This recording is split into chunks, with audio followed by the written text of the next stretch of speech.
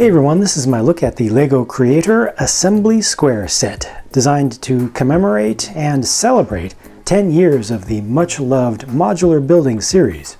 This is one of the most complex sets LEGO has ever released. It has a lot of new parts, part recolors, and references to all of the old modular buildings. Therefore, it's going to take quite a bit of time for me to give this thing justice in a review, so grab a cup of tea or something and get comfy.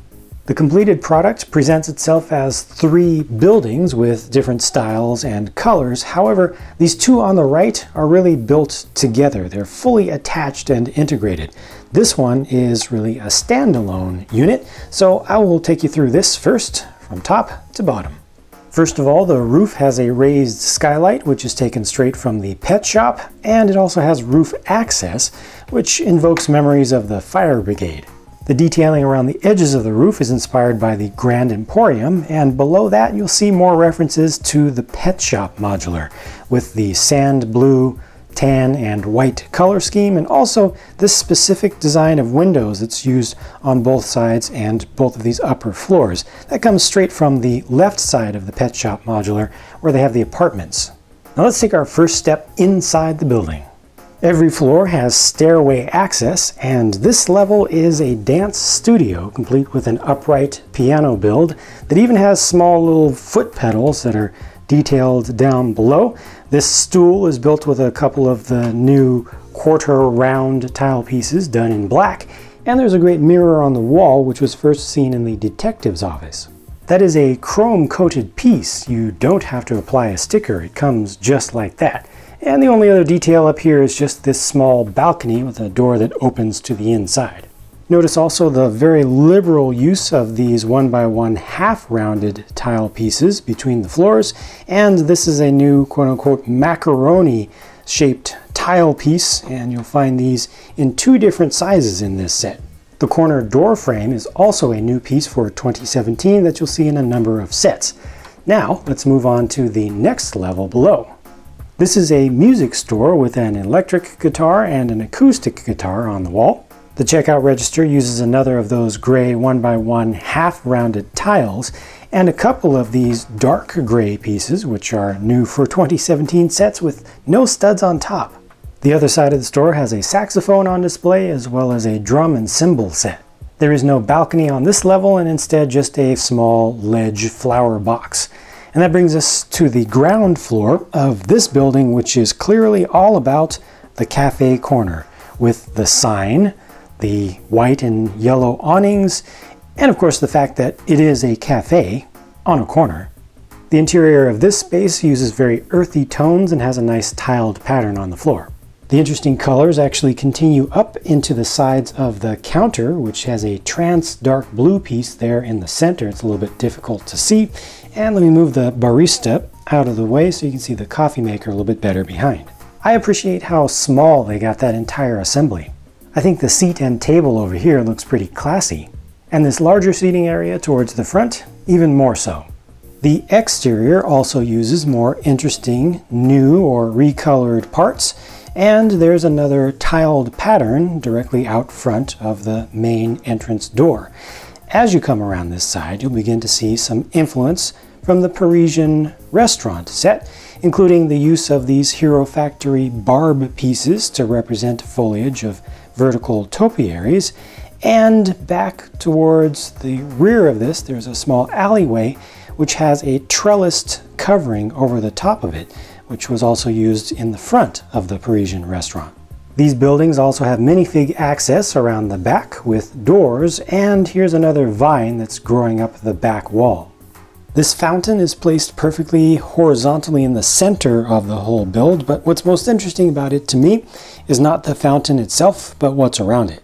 Lots more corner tiles in white and dark gray, and also peeking out around the sides are the Nexo Knights shield pieces in light gray. Next up, I'm going to try to focus on just this center building, even though, like I said, it is attached to the one on the right. This seems to have a fair amount of green greengrocer influence in it with the sand green color, some of the wrought iron details around the top of the roof, also this chimney area. But then this shape on the front of the roof is very reminiscent of the shape of the back of one of the roof sections of the Parisian restaurant. The build here is unique though with the use of large Technic bucket pieces and a bunch of Thor's hammers down here.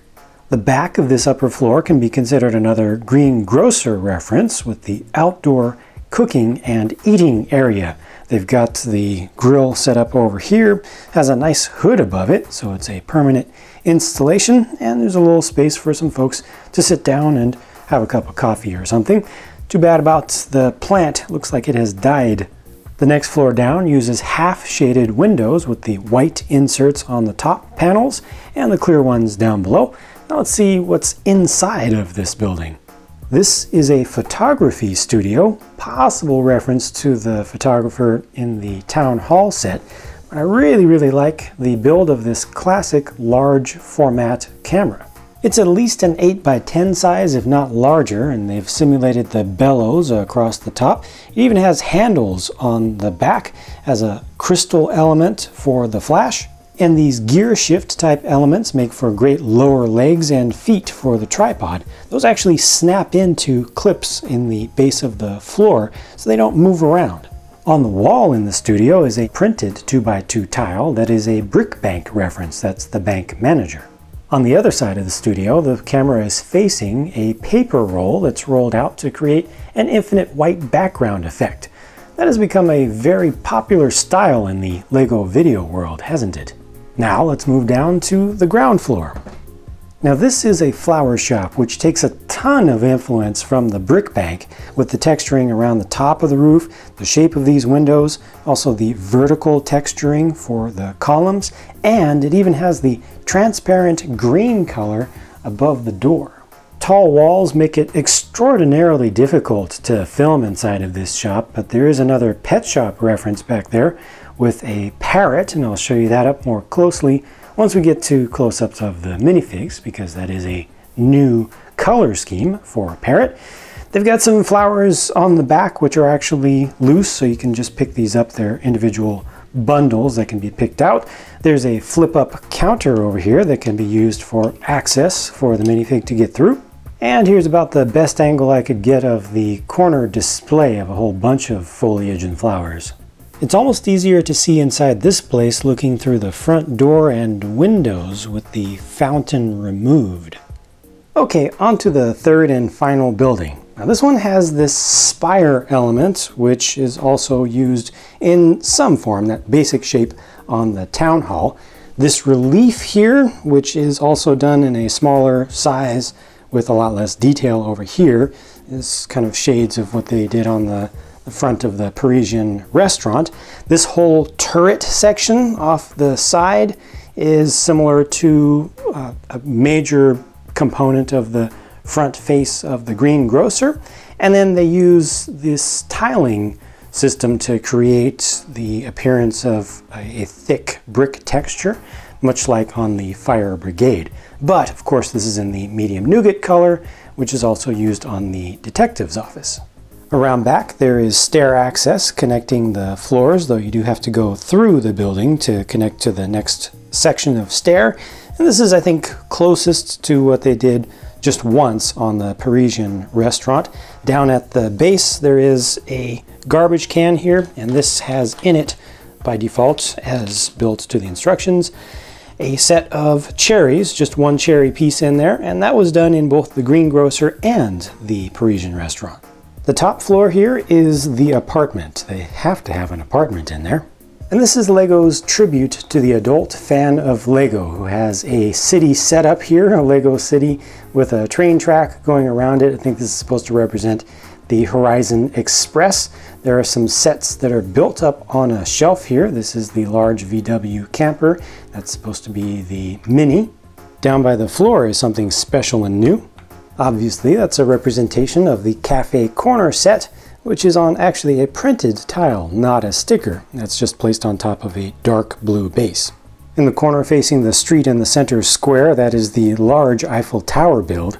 And on the opposite wall, on a shelf, are micro-sized representations of a few classic modular buildings. So this one here is the cafe corner. There's Market Street there, covering both of these studs. And then the last one is the green greengrocer. Down below because there's not a whole lot of space here and you still need to be able to have some you know, comfort and you also need to have a place to sleep. This is both. This is a fold out convertible sofa bed that comes forward and then flattens out like that. There's a small kitchenette here as well with a small sink, the stove oven combination, and some cabinetry. I guess you could see this as either a microwave oven or some sort of small elevated refrigerator if you want, or it could just be a cupboard. And finally, in this difficult to film corner is a restroom with the same type of toilet seen in the detective's office. Altogether, this is one of the few rare depictions of a human dwelling from LEGO that has all of the key necessary components of living. The next level down has a dentist's office, which would be entered from the back side of the building. Has a little waiting room there with a clock up above and a reception desk. And from the opposite side, you can see some reading material that is presented for folks who are waiting. The back wall has a nice new style of build for the sink using new parts, and there's storage for various equipment that the dentist would use. Equipment like a club, or a brutish pair of pliers. Fortunately, the reclining chair for a patient looks a lot more comfortable and more modern. This can be brought back, the light can be moved around, and they have a nice little rinsing sink off to the side. You can also move this platter or kind of movable table element around, and they've got a syringe. Each of the top two floors of this building use the new two stud radius curved tile pieces to finish off the edges there nicely and from the outside, they have a very nice exclusive single printed window piece here. It says prevent yellowing, which is also a general LEGO reference and probably especially pertinent to the Eiffel Tower in the window on the floor above. And finally, we arrive at the bakery at the bottom floor of the last building. This uses clear garage door pieces to create the windows which the town hall also uses on its roof in a similar way, just rotated 90 degrees. Inside, the clock on the back wall could also be a reference to the town hall. That is a printed piece that looks very nice. Meanwhile, beneath the stairs here is the oven for the bakery, and that has a door that is constructed very similarly to the furnace door in the Parisian restaurant. That can be opened up and because it's difficult for us to get our huge figure human fingers down in there to put something into the oven or to take it out, they give you a little button on the back of the building that you can push in to remove whatever is inside. And that's just a tray of some danishes. Again, LEGO modulars have tall walls for the ground floors, so it's a little bit difficult to get a good angle here, but this is the checkout register, a small one, a little display case here with some small products that can be purchased, and more items on display on the back with layered cakes, uh, white croissant, and yeah, I think the rest are just cakes. They also have a small table by the side window with some more products on display. The marquee item on display in the main window is of course a wedding cake, complete with his and hers toppers up above, and that just ties into the wedding themed elements of Town Hall and the Grand Emporium. Here's one last build to look at, a vintage baby carriage and direct update to the one that was included with the green grocer. Now though, they actually have a baby to put inside of it. Very nice. Here are the first four minifigures in hopefully roughly the same order as I showed them with the buildings from left to right, with the ballerina, the music shop guy, the barista, and the photographer. I really like the hairpiece and torso print for the music shop guy especially. Of course, they've stuck with tradition with just the classic basic smiley face heads for all of these, but they did break with tradition a little bit for the barista just to complete the coffee chain outfit. No alternate faces on these heads, of course, but they do have pretty nice prints on the backs of the torsos. Here, left to right, are the flower shop lady, the Lego fan, the dentist with his new torso print that we'll probably, hopefully, see again in the future at some point, and the classic baker. It's a nice little variety of new and older prints for the torsos and another good selection of headgear pieces that can be swapped around to customize your figures. Of course, I can't forget about the animals. The Chihuahua on the right came from the collectible minifigure series, but the parrot on the left has a brand new color combination. Previously it was red and green, and this one is blue and yellow. Every single one of those will look different. I believe it's supposed to be one color above and another color below, blue on top, yellow on the bottom. But this one really got mixed up and in my opinion, doesn't look good. It looks a little bit trashed actually. The one that they selected to display on the box looks much nicer than this. At least this side looks a little bit better, but over here, that's kind of messed up.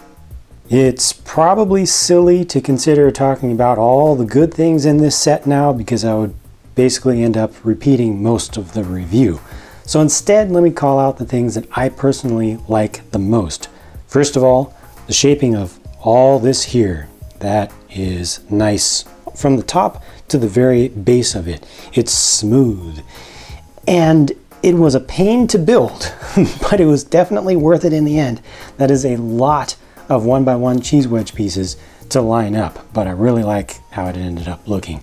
I also very much appreciate, selfishly and for other fans, how much of the cafe corner goodness they got into this building over here. You know, the really key, very recognizable elements and types of elements from the front I think are replicated very nicely and integrated in with other references to other color schemes and other sets and that just makes for a very nice and classy appearance that's especially good for folks who are never able to get the cafe corner or who will never be able to afford it because it costs all the money these days. And then the flower shop. I really like the flower shop inside and out. The signage on the front, the number of windows that are used with it, and also those transparent green elements that just let in some nice little sparkles of colored light.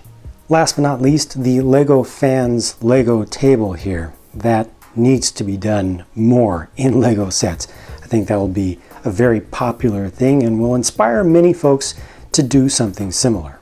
My least favorite thing of this build by far is this open outdoor kitchen cooking area thing. Uh, I personally just haven't seen anything like this in real life. I know that there are outdoor cooking arrangements, but this looks like it's an attic or just an upper floor of the building, you know, the, the, the, sloped roof on the opposite side.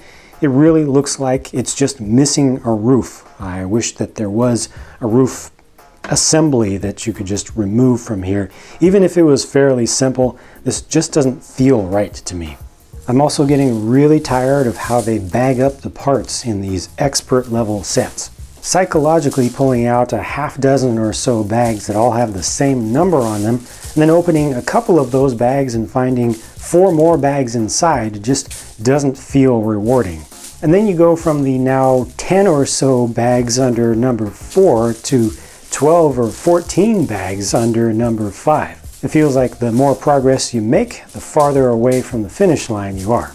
I'm sure many consumers have a different mindset and actually appreciate the feeling of extra challenge of dealing with so many parts that get opened up at once. But I think LEGO would do well to offer up the option of a simpler and smoother build process. They can group parts together more closely with the steps of the instructions and label them 4A, 4B, 4C, and so on, and still allow folks who want to get that more complex experience to just open up everything with a 4 on it at the same time. It would open up the best of both worlds for folks who have different expectations and desires. So that's Assembly Square. 10 years of modular buildings kind of squeezed into a 32 by 48 space. Obviously, I didn't try to call out every single possible connection to one of the older sets because that probably would have doubled the length of the review. If there's anything that you particularly think I missed out on, please do share with the rest of the viewers by leaving a comment down below. Also let me and the rest of us know what you think of the set on the whole, and what are your favorite and least favorite parts of it. I hope that you've enjoyed this video. I feel very fortunate to have been able to present all this to you. and I look forward to being able to talk to you again very soon in the next video. Catch you later.